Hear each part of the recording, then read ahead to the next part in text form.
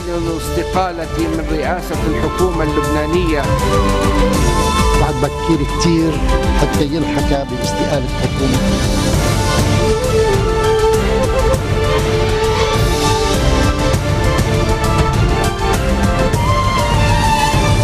إنها سبعة ونصف مساء بتوقيت العاصمة بيروت. نحييكم إلى المسائية ونبدأها بالعناوين مع أميرنا الهند.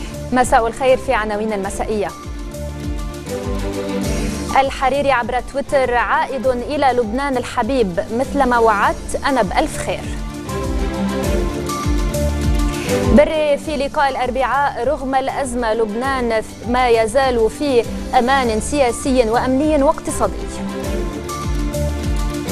البحرين تكشف خلية إرهابية على صلة وثيقة بالحرس الثوري الإيراني. يلي رح يكون هين هو. تقابل مندوب بلوم بانك عبر ال video chat. بلوم بانك ليما معك كيف فيني ساعدك؟ بس يلي ما رح يكون هين. تبينوا اثنيناتكم بالكادر. فرجيني تبين الطيارة مع هيك شعر. تقنع عمك إنه مش وقت تدوق التبولة. بتعرفي مين عم يدقتهم بالبناية. لا ولا يهمك. خذ وقتك أستاذ.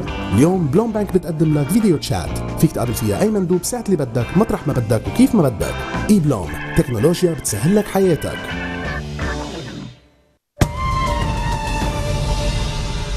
للمرة الثانية خلال 24 ساعة غرد الرئيس سعد الحريري مطمئنا. واليوم قال مع حرفيته. بدي كرر وأكد أنا بألف ألف خير وأنا راجع إن شاء الله على لبنان الحبيب مثل ما وعدتكم. وحتشوفوا. وبعد التغريدة أعلن المكتب الإعلامي للحريري أنه تلقى اليوم اتصالا هاتفيا من الرئيس القبرصي نيكولاس أناستسيادس أمنيا تم الإفراج عن المواطن السعودي على البشراوي الذي كان خطف قبل أيام من قبل عصابة وقد تسلمته مخابرات الجيش اللبناني بعد أن ترك بمفرده في منطقة مهجورة في حوش السيد علي البقاعية. واليوم كشفت السلطات البحرينية أنها ألقت القبض على أحد منفذي الهجوم الإرهابي الذي استهدف حافلة للشرطة نهاية الشهر الماضي وأعلنت أن المتورطين في الهجوم على صلة بخلية إرهابية تابعة للحرس الثوري الإيراني وأكدت أن عددا من الإرهابيين المطلوبين موجودون في إيران. أكد الرئيس سعد الحريري أنه عائد إلى بيروت قريبا مطمئنا أنه وعائلته بخير في مملكة الخير. بعد أن طمأن الرئيس سعد الحريري اللبنانيين أنه بخير عبر تغريدة قال فيها يا جماعة أنا بألف خير وإن شاء الله أنا راجع هاليومين خلينا نروق. وعائلتي قاعدة ببلدها المملكة العربية السعودية مملكة الخير. عاد وجدد التأكيد اليوم أنه بخير وكتب في تغريدة بدي كرر وأكد أنا بألف ألف خير وأنا راجع إن شاء الله على لبنان الحبيب مثل ما وعدكم وحتشوفوا. إلى ذلك تلقى الحريري اتصالا هاتفيا من الرئيس القبرصي نيكوس أنستاسياديس وقد غرد الناطق باسم رئاسة القبرصية أن الحديث بين الرئيسين كان قلبيا مع صورة لهما من زيارة الرئيس الحريري إلى قبرص قبل أسبوعين. يتوجه وزير الخارجية الفرنسي جون إيف لودريان اليوم إلى المملكة العربية السعودية حيث سيلتقي مساء ولي العهد السعودي الأمير محمد بن سلمان بن عبد العزيز على يجتمع غدا مع خادم الحرمين الشريفين الملك سلمان بن عبد العزيز. هذا ونقلت وكالة رويترز عن مصدر دبلوماسي فرنسي أن وزير الخارجية سيلتقي أيضا الرئيس سعد الحريري. استحوذت زيارة البطريرك الماروني مار بشارة بطرس الراعي إلى الرياض اهتماما سعوديا لافتا وقد أعادت مواقف الراعي المتعلقة بالشأنين المحلي والعربي التأكيد على مسلمات بكركي التقرير لربيع شنطف.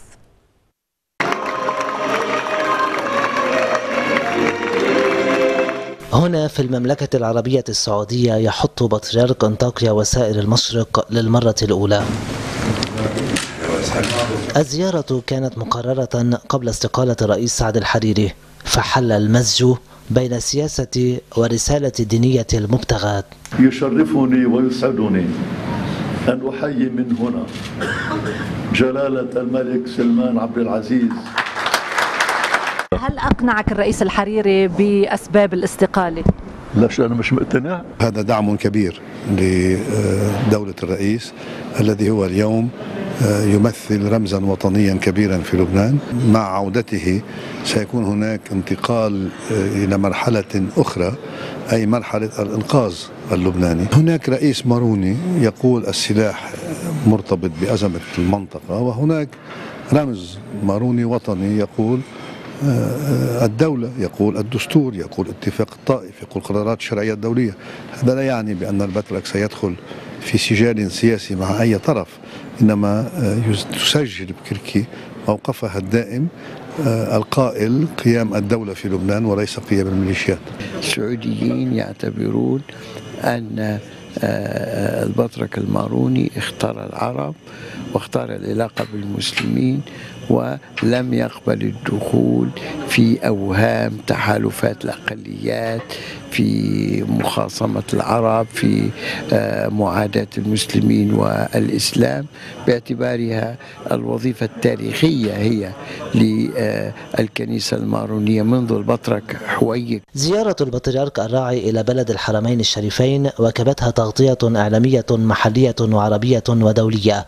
وقد شكلت منشطات للصفحات الأولى في الصحف السعودية التي ركزت على جانب تلاقي الثقافات والأديان ونبذ العنف والتطرف. لقاء سيدنا البطرك مع جلالة الملك. كان لقاء ممتاز ومثمر.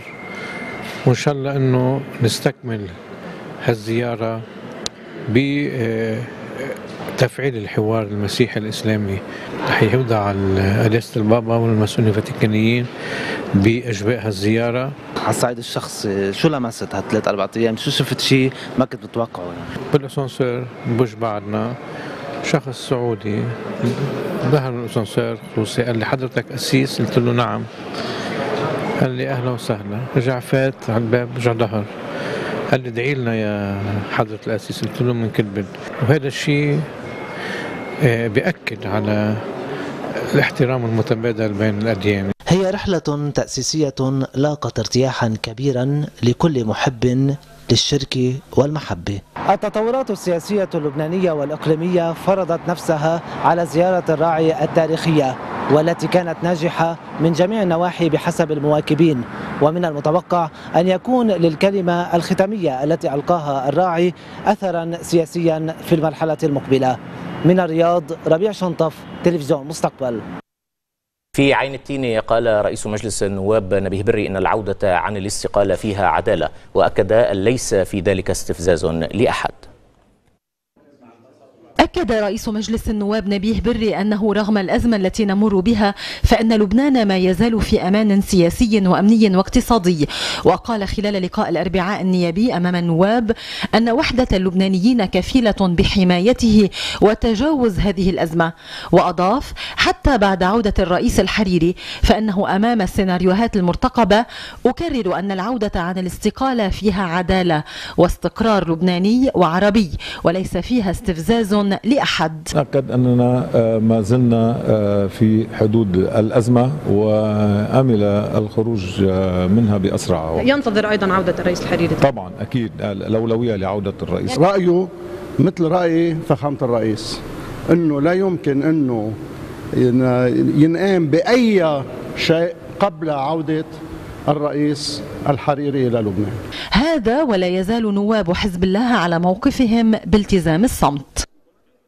ومن دار الفتوى اعتبر النائب بطرس حرب بعد لقاء مفتي الجمهورية الشيخ عبد اللطيف داريان أن الخروج عن سياسة النأي بالنفس عن الصراعات الخارجية هو ما أدى إلى ما نحن عليه.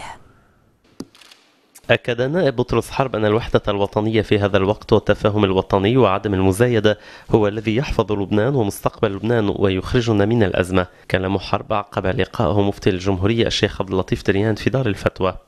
المهم الأكبر البحث في الأسباب التي دعت الرئيس الحريري إلى الاستقالة وفي الظروف المعقدة التي حصلت واللي أدت بالنتيجة إلى تأزيم الوضع في العلاقة العربية بالعرب لبنان بالسعودية.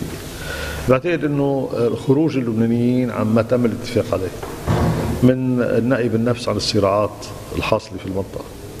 وأعطاء الانطباع والشعور بأنه لبنان هو منش نائي بنفسه عن هذه الصراعات وهو باتجاه آه، فريق في وجه فريق آخر هو اللي أدى إلى تفجير الحالة. وأنا بعتقد إنه الشيء اللي لازم نتعلمه من التجربه والصدمة الإيجابية اللي حكي عنها الرئيس الحريري بمقابلته التلفزيونية هي بأننا نتعظ من التجربه وإنه يتعلموا الافرقاء السياسيين إنه ما فينا نحن نحافظ على مصلحة لبنان وقت كل واحد بده يشد الحوض صوب صوب صوب صدره بكيف بده يامن مصالحه أما مصالح حزبه أما مصالح طائفته. المفتي دريان التقى سفير بريطانيا في لبنان هيوغو شورتر وتم التداول في الأوضاع اللبنانية كما استقبل المستشار القنصل العام في سفارة مصر في لبنان جواد سامي وبحث معه الشؤون اللبنانية والعربية وبعد الفاصل تتابعون قاذفات روسية استراتيجية دمرت أهدافا لداعش في دير الزور. والجيش يستولي على السلطة في زيمبابوي والرئيس قيد الإقامة الجبرية.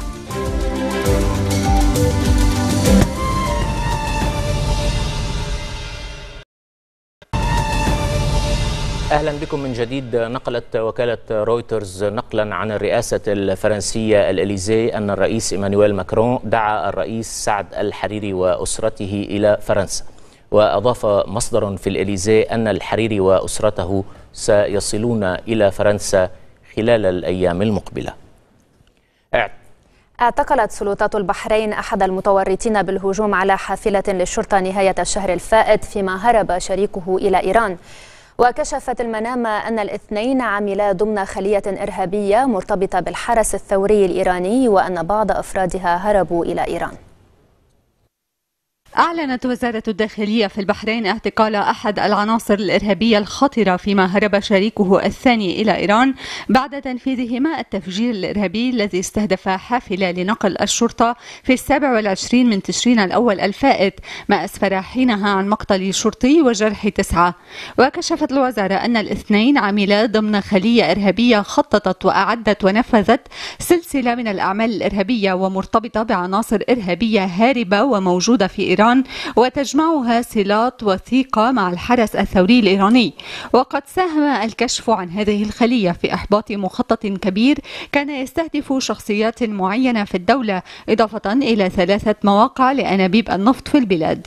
بيان الوزارة أوضح أن عناصر الخلية الإرهابية تلقوا تدريبات مكثفة في معسكرات الحرس الثوري الإيراني على استخدام وتصنيع المواد المتفجرة والأسلحة النارية إلى جانب توفير الدعم والتمويل المادي واللوجستي سافر أعضاء الخلية في تشرين الأول 2011 برا إلى سوريا ومنها إلى إيران من دون ختم جوازات السفر في المنافذ السورية والإيرانية قبل أن يسافروا إلى إيران مجددا في تموز 2017 عناصر الخلية وبعد تلقي تدريبات نظرية على أيدي مدربين إيرانيين انتقلوا إلى معسكر للتطبيق العملي وبعد إتمام التدريبات أوكل إلى المجموعة الإرهابية مهمة البحث عن مكان آمن لتخزين المواد الداخلة في صناعة المتفجرات والأسلحة النارية وإيجاد مكان مناسب يستخدم كورشة لتصنيع العبوات الناسفة.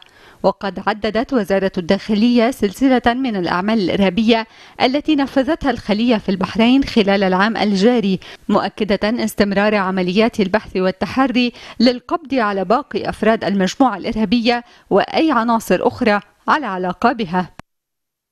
أعلنت وزارة الدفاع الروسية أن قاذفاتها الاستراتيجية دمرت أهدافا تابعة لتنظيم داعش الإرهابي في دير الزور بعدما عبرت الأجواء الإيرانية والعراقية. من جهة ثانية صعد نظام الأسد من حملة القصف الجوية على مناطق الغوطة الشرقية في انتهاك واضح لاتفاق أستانا.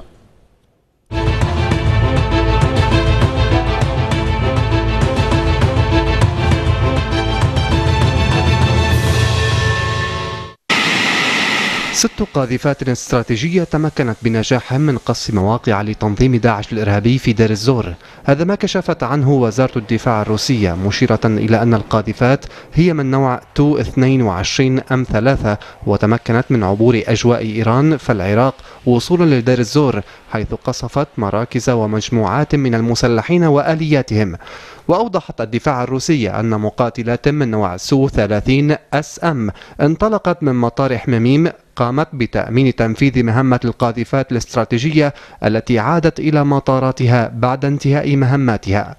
من جانبه أقر التحالف الدولي أن العشرات من مقاتلي التنظيم الأجانب قد يكونوا قد تخفوا بين المدنيين واستطاعوا الهروب إلى أماكن أخرى أثناء عملية إجلاء ثلاثة آلاف مدني من المدينة علما أن المرصد السوري لحقوق الإنسان كان قد أكد مرات عدة بأن المئات من مقاتلي داعش بينهم أجانب غادروا الرقة بأسلحتهم وذخائرهم في قافلة ضخمة في تشرين الأول الماضي في إطار اتفاق مع قوات سوريا الديمقراطية. وفي وقت دعا حزب الاتحاد الديمقراطي الكردي التحالف الدولي إلى البقاء في سوريا لحين التوصل إلى حل سياسي للأزمة. أفادت مصادر في مدينة الرقة أن الوحدات الكردية اعتقلت عددا من شبان المدينة النازحين إلى المخيمات من أجل تجنيدهم في صفوفها.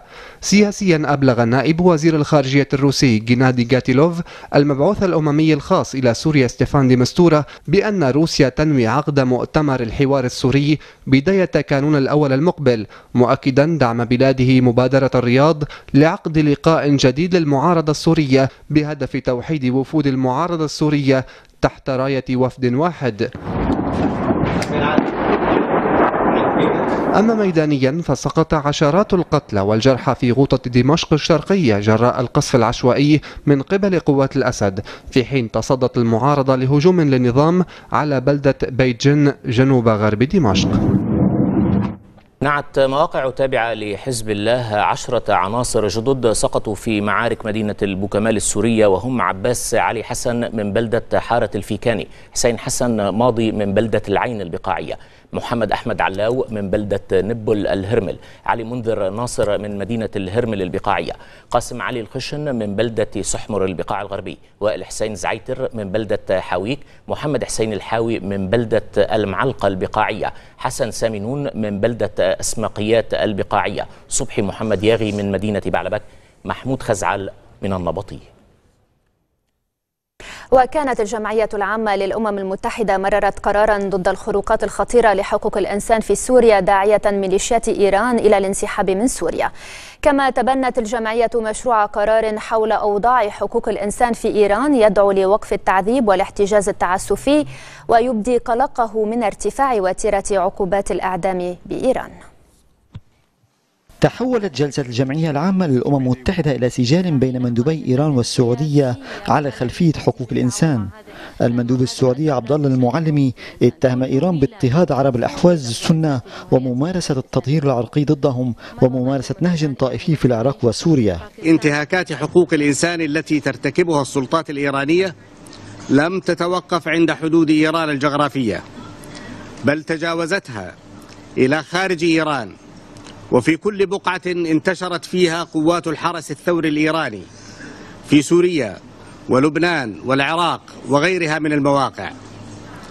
ففي كل هذه الحالات مارست السلطات الإيرانية نهجا طائفيا جليا بما في ذلك محاولة إفراغ مدن وأحياء من سكانها وإحلال جماعات طائفية محلهم.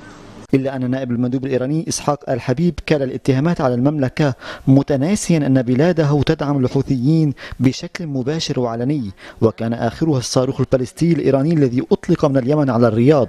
ورد المندوب السعودي على التصريح الإيراني بالتحذير من أن بلاده لن تسمح لإيران أو لغيرها بتوجيه سهامهم لها موضحا أن الموقف الإيراني ينبع من كون السعودية تفند مخالفات إيران الجسيمة وانتهاكاتها للإسلام نصا وروحا. وفي نهاية الجلسة تبنت الجمعية العامة للأمم المتحدة مشروع قرار حول أوضاع حقوق الإنسان في إيران يدعو لوقف التعذيب والاحتجاز التعسفي ويبدي قلقه من ارتفاع وتيرة عقوبات الإعدام بإيران. كما وافقت الجمعية العامة على تمرير قرار ضد الخروقات الخطيرة لحقوق الإنسان في سوريا أبرزها دعوة ميليشيات إيران للانسحاب من سوريا. قرار الأمم المتحدة طالب بمغادرة المقاتلين الأجانب سوريا وخص بالاسم كتائب فيلق القدس والحرس الثوري الإيراني وحزب الله داعيا إياها للانسحاب من سوريا. تتمركز القوات العراقية وحلفاؤها على مداخل قضاء راوة تمهيدا لاقتحامه وإعلان طرد تنظيم داعش من آخر معاقله في البلاد فيما عبرت عشائر الأنبار عن مخاوفها من عدم تخصيص ممرات آمنة للمدنيين. وبحسب مصادر مقربة من رئيس الوزراء العراقي حيدر العبادي سيتم قريبا الإعلان عن تحرير الوحدات الإدارية كافة المأهولة بالسكان في راوة من سيطرة داعش والتحقيق النصر على الإرهاب. إلا أن مراقبين يؤكدون أن التنظيم وإن طردته القوات العراقية من راوة إلا أنه لا يزال يسيطر على مساحة تقدر بحوالي 18 ألف كيلومتر مربع وتعادل 4% من مساحة العراق. تتمثل بصحراء ووديان خالية من السكان تقع بين الأنبار ونينوى.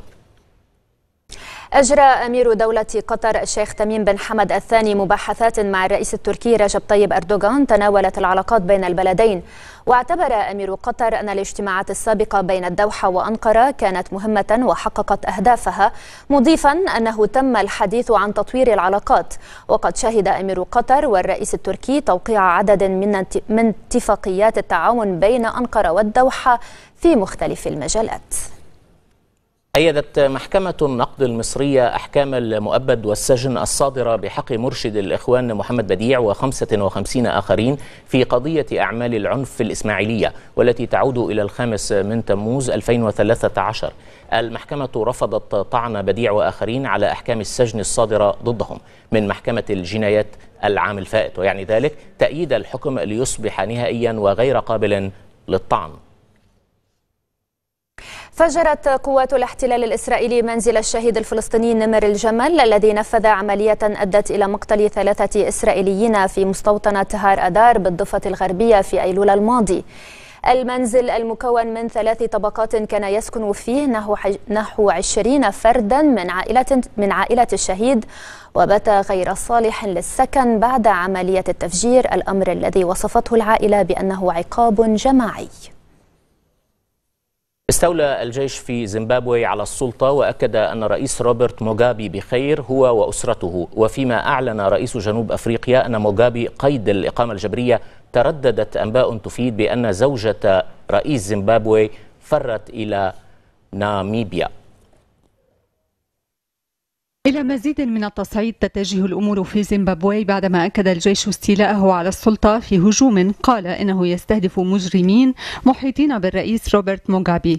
وتوقع الجيش عودة الأمور إلى طبيعتها بمجرد استكمال مهمته. في وقت أكد رئيس جنوب إفريقيا جاكوب زوما أن موغابي قيد الإقامة الجبرية وسط أنباء عن فرار زوجته إلى ناميبيا. وقد انتشرت في شوارع العاصمة هراري حاملات جنود مصفحة وشهد الجنود الجنود وهم يقفون قرب مركباتهم العسكرية على مشارف العاصمة فيما اعتقل الجيش وزير المالية وأحكم قبضته على هيئة الإذاعة والتلفزيون الرسمية وعلى عدد من المباني الحكومية. بعدما وجه الحزب الحاكم اتهاما لقائد الجيش بالخيانة ما زاد من التكهنات بحدوث انقلاب على الرئيس.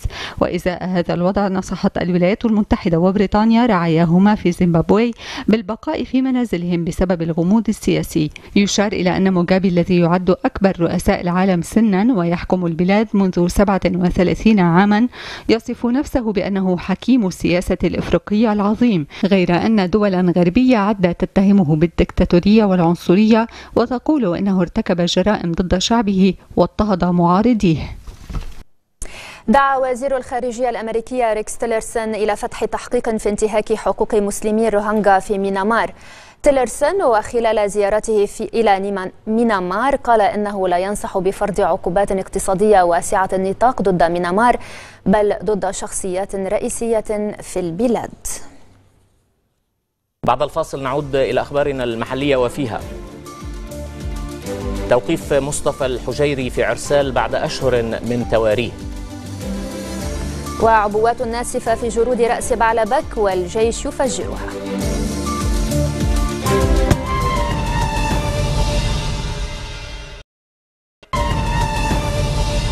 أهلا بكم من جديد. أوقفت مديرية المخابرات في الجيش اللبناني فجر اليوم الشيخ مصطفى الحجيري الملقب بأبو طاقي بعد تواريه منذ معارك الجرود وقد بوشر التحقيق معه بإشراف القضاء المختص.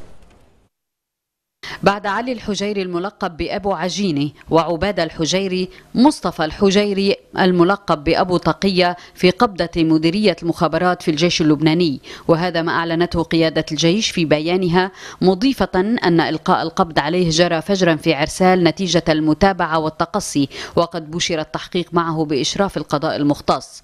وفي المعلومات أنه تم القبض على الحجيري مختبئا في منزله في غرفة سرية.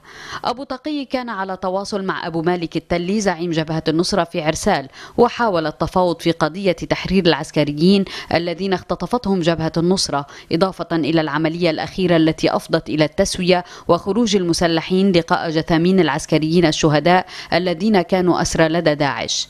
وقد تم القبض على ابنه عباد الحجيري الذي أدلى باعترافات خطيرة. طوق الجيش اللبناني على أثرها منزله والمسجد الذي يأمه لفترة طويلة بعد أن توارى عن الأنظار وسرت الأخبار عن هروبه من عرسال مع المسلحين. وقد اتخذ قرار توقيف أبو طاقي بعد توثيق عدد من الإثباتات على تورطه وأبرزها اللقاء الذي عرضته وسائل الإعلام مع عدد من المسلحين إضافة إلى اعترافات نجله التي كشفت عن دور والده في دعم التنظيمات الإرهابية خصوصا جبهة النصرة وتورطه في عدد من العمليات الإرهابية منها عدد من الهجمات على الجيش قبل عام 2014 وبعدها.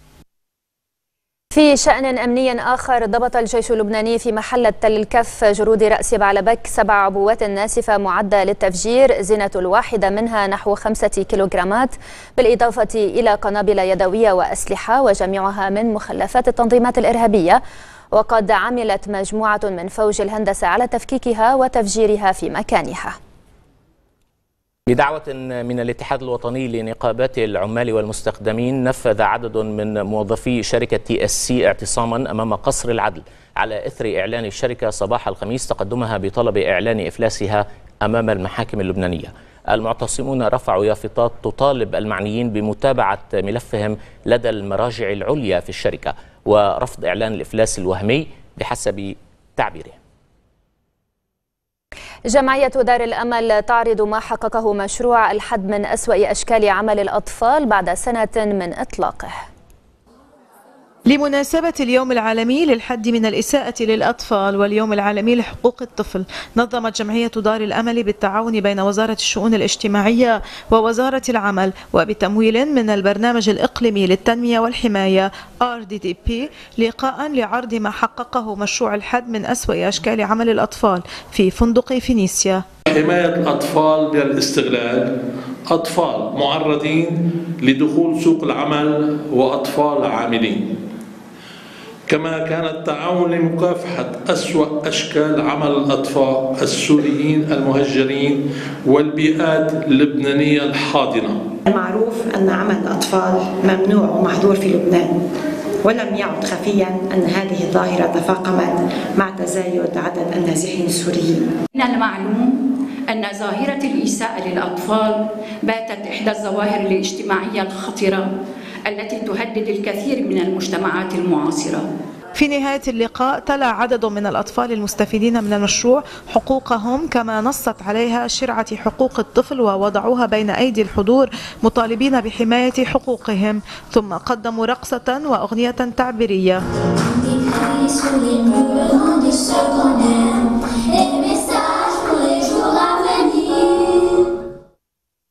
أقيم عشاء على شرف نائب الرئيس العراقي إياد علاوي في فندق فينيسيا بحضور أعضاء مجلس العلاقات العربية والدولية وشخصيات سياسية دبلوماسية إعلامية واجتماعية. كان علاوي قد حضر إلى بيروت حيث ترأس اجتماعات مجلس العلاقات الدولية. وتم البحث في التطورات على الساحة العربية والسبل الكفيلة بحل الخلافات العربية ومواجهة التحديات القائمة وملف الإرهاب والتطرف. عقد المجلس التنفيذي لنقابة عمال بلدية طرابلس جمعية عمومية في المقر العام للاتحاد العمالي العام في طرابلس بحضور رئيس اتحاد في الشمال شعبان بدرة وحشد كبير من عمال البلدية. الكلمة أكدت على مطالب العمال المحقة رافضة الظلم الذي يمارس عليهم ومشددة على إنصافهم. نصل إلى الفقرة الاقتصادية مع كارولا نقاش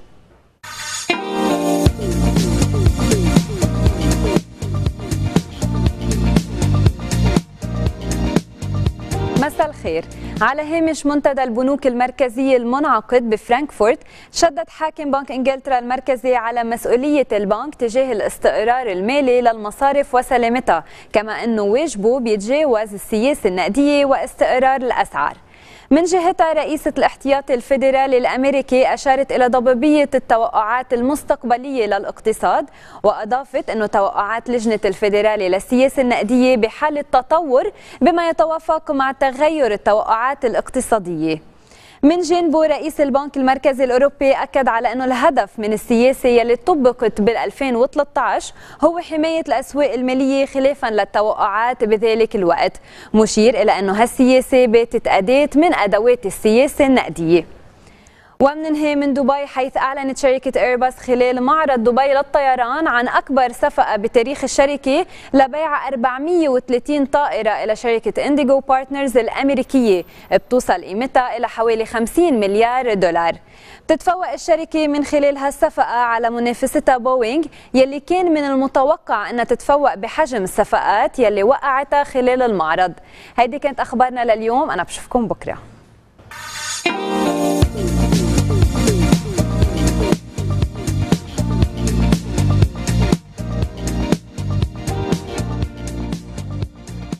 في اليونان قتل 13 شخصا على الأقل واعتبر, واعتبر ثلاثة في عداد المفقودين جراء الفيضانات التي اجتاحت بلدتين في ضاحية أثينا الكبرى. ونجمت الفيضانات عن أمطار غزيرة هطلت على البلدتين ما أدى إلى طمرهما بسيل من الوحل. وعبر رئيس الحكومة عن حزنه العميق على الضحايا وأرسل فريقا حكوميا لتنسيق العمليات لمواجهة هذه الفيضانات الكارثية. أحوال الطقس مع كرم. بونسوار طقس دافي مستقر عم بيسيطر حاليا على أغلبية مناطق الحوض الشرقي للبحر الأبيض المتوسط. تفاصيل كلها بعد شوي. هلأ بنروح على الدول العربية لنشوف كيف عم بيكون طقسها ومنبلش جولتنا بتونس. 18 درجة رباط 21 الجزائر 17 درجة. بغداد 27 دمشق 24 القدس 27 عمان 26 درجة وبنختم مع الكويت والدوحة 29 درجة أما الرياض بتسجل 31 درجة. هلا بننتقل على لبنان. بكرة الخميس طقسنا قليل الغيوم إلى غائم جزئيا. بالنسبة للحرارة على الساحل توصل أقصاها ل 27 درجة أدناها 15 بالنسبة للجبل 23 أما بالداخل بتسجل أقصاها 27 درجة. تفاصيل أكثر بنروح على الخريطة اللبنانية ومنبلش جولتنا بعكار 24 طرابلس 25 الأرز 14 درجة الكورة 24 الهرمل 25 القعد 23 بعلبك 21 رياء 20 درجة. منكفي بالمناطق اللبنانية عجبال 25 ميروبة 15 جونيا وبعبدة 26 درجة. بيروت كمان بتسجل حرارة فيها 26 درجة. بنكفي على زحلة 27 شتورة وعنجر 25 مشغرة 27 درجة. جزين 26 رشية 22 مرجعيون وبنت جبال 26 درجة وبنختم مع صيدا صور وقانا 27 درجة. مثل ما ذكرت بكرة عنا ارتفاع بدرجة الحرارة لتوصل أعلى من معدلاتها الموسمية وتسجل أقصاها على الساحل نهار الخميس ل 26 درجة أدناها 18 بالنسبة للجمعة 27 أما نهار السبت رجع بتسجل 26 درجة. الحرارة بمنطقة الأرز عم توصل أقصاها لل 14 درجة. لهون بتكون خلصت النشرة الجوية تصبحوا على ألف خير.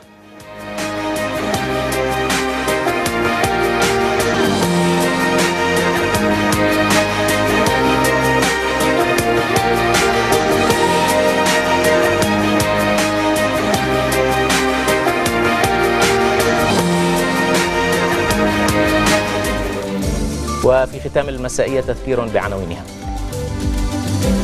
الحريري عبر تويتر عائد إلى لبنان الحبيب مثلما وعدت وأنا بألف خير. بري في لقاء الأربعاء رغم الأزمة لبنان ما يزال في أمان سياسي وأمني واقتصادي. البحرين تكشف خلية إرهابية على صلة وثيقة بالحرس الثوري الإيراني. نهاية نشرة شكرا للمتابعة وإلى اللقاء. إلى اللقاء.